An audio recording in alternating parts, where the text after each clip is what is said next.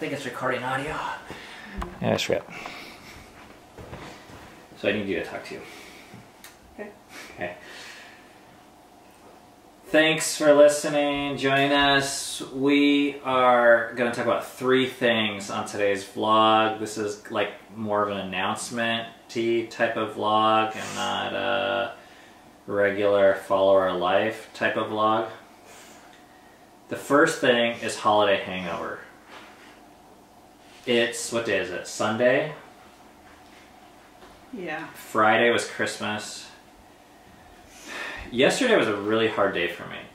And I don't know what else to call it besides holiday hangover. I didn't realize it until this morning when I woke up and things were okay.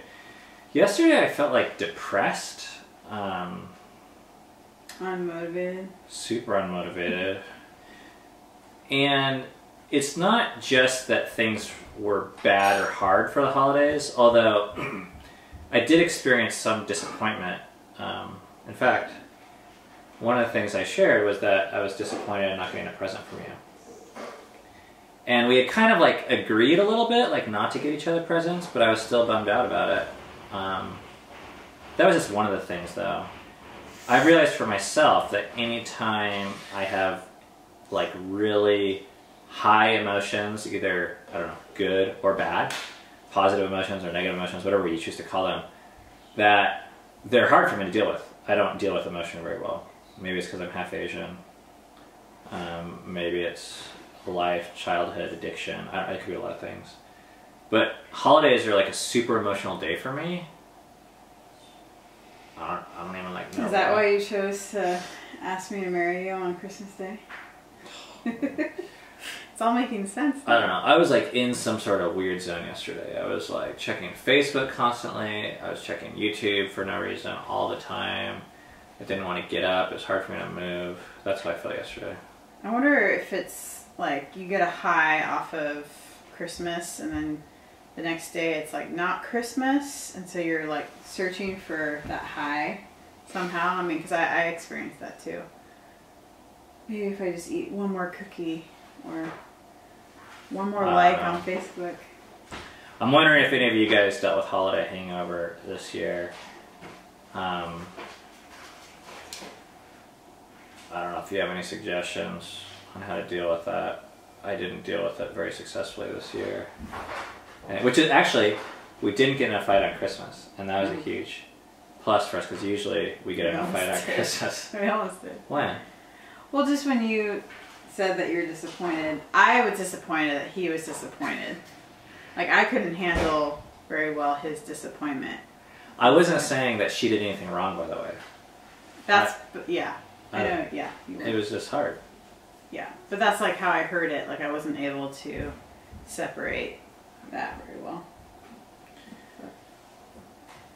You had a hard day yesterday too, or is there anything you want to share with that? I feel like every day season's been hard for me, but um, yeah. I mean, I, I feel like I experienced some of the similar things that Ben experienced yesterday, but I feel like I'm experiencing them today.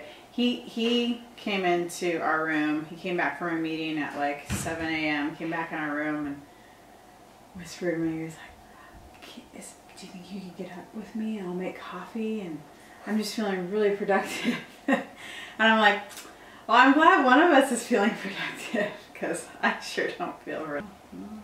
But okay, that brings us to a, a different topic, which is we are taking a break from two weeks from this vlog, and this is a hard thing to do, you guys, because we started this vlog what two or three months ago, and we have released an episode every single time when we said we were going to.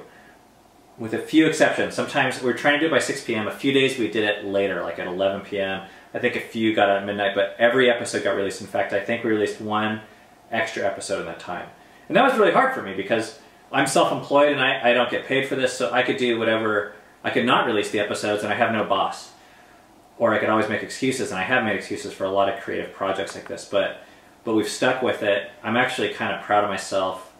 It's the thing that I'm the most excited about, not even the quality of the episodes, but just the fact that we've done it, we've hung in there. so I say that to say that we're not taking a two-week break off just because we don't care, because we're worn out or tired, we're changing our mind about this vlog thing. But a series of things have happened in the last week or two where some men that really care about me and that I really trust are suggesting that I do kind of a retreat type thing to do some personal examination for myself and prioritize my own spiritual health. And I'm not going to get into a ton of details, not because I'm afraid to share it with you, but because I don't want to um, shortchange the process that I'm in the middle of right now and I don't want to distract from it. So I'm not going to go there now, but maybe in the future we'll talk about it or something. It's not like off limits or anything like that. So the next two weeks is going to be kind of retreat for three hours a day. I'm going to be, instead of working on projects like this or things with deadlines, I'm just going to be um, spending personal time, um, but very structured and fairly disciplined from 9 a.m. to noon and in my office with no internet. so because of that, we're not going to be vlogging. And we're sorry if you're going to miss that and thankful that you actually even have a place for that in your life. And we hope that you realize that this doesn't mean we're taking this project or this communication or you less seriously because we're not. Yeah. Anything else you want to say about that? Well, I want to say that I'm proud of you too. Hmm. For all those episodes that. I mean, I know I'm. I support him, but he's the one who got him out in time. Most of them out in time. Got them all out eventually. I think it's really cool. We did talk about whether or not Cami should just still do it, but she's really going through a lot right now with her pregnancy, and um, there's too much editing stuff that I do that I really want to devote myself fully to this other process, and I think it'll make for better better vlogs, and um, we just we have to prioritize our spiritual health and our family health before our communication to the outside world, and if we do that, we think we have a better thing to offer all of you in the long run, anyways. And it's what we would want you guys to do too. So we wouldn't want to do anything that we wouldn't want other people to do. So that's going to be for two weeks starting tomorrow, um, and and then we'll be back. So thank you for your patience. The last thing I want to mention, I was just getting ready. We got all these books here. Okay, these are two books, and there's actually three books in this series. This is by an author named Steven Pressfield. There's this one called The War of Art. This one, my friend Sunny recommended it to me. It changed my life. Then he came out with a sequel called Turning Pro. And then there's like a sequel to that called Do the Work. The subtitle is Break Through the Blocks and Win Your Inner Creative Battles. Anyways, great books. That's not the point of this. The point of this was th those are all gifts from us to the Fight for Together street team. And most of you guys have no idea what that is. But uh, in the YouTube description, at the bottom, it says, special thanks to the Fight for Together street team. And these people are a group of people that have agreed to watch all of our episodes and provide feedback on how the episodes communicate, how they work, what's working, what's not working, what they find, uh, just just feedback, and and it's been really helpful for us. And this whole vlog thing, it's a team. So we just wanted to publicly on this vlog say thank you to those people for being a part of this. Mm-hmm. And if you're watching this, you've been impacted by these people too. So these these books, they're not expensive, they're really cheap. But it's our way of saying thank you because these these books were really inspirational to us in getting this project and other projects off the ground and running. So you might want to check those books out. But regardless, if you've enjoyed this vlog, um, I just want you to know that there's other people behind it that we're really thankful for. Yeah. Anything else you want to say? Um, I just really want to thank you for, for watching our vlogs. Um, and we hope that you can tune in in two weeks and that we can give you an even better uh, I don't want to say product, but better viewing experience than even before because we're taking care of the, we're prioritizing what we need to prioritize first in our life. So. I totally agree with that.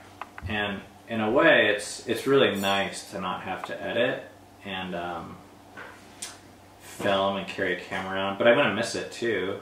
It's become a part of our life, and I even noticed the day after Christmas, there's less like holiday funk when I on vacations and stuff. When I'm not productive and I don't have a project, my brain I feel like I go all crazy. And uh, I'm I'm satisfied that I'm gonna have something to fill it with in this next two weeks, but I, I'm still gonna miss this process, the art, and connecting with you all in this way. And if you have time and if you're looking for something to do, we have all these older episodes. We have the Wonderland Trail videos. I'll link to all those down below. We have our 30 minute mini marathon documentary, which I highly recommend you watch if you want to get to know us and what we deal with. Not because it's the best way to run a marathon or not because it's just this epic adventure, but because it really kind of shows our family in a way that I think will help you get to know us if that's what you want. So, anyways, thank you. What Cami said, appreciate that, and we're looking forward to connecting with you guys again in two weeks. Um, a lot's going to happen. You will be almost having a baby then. Yeah, I don't know if they can see. You can see that. Yep. I See. don't think so. Uh, All right. Thanks, guys. Thank you. Bye.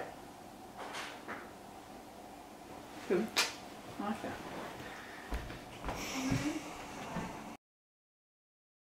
This year, my mom got pregnant. This year I play baseball. Nice hit. Me and my dad went to Chicago. we rode a train there. We missed the train coming home. So this trip just became the most inefficient trip ever.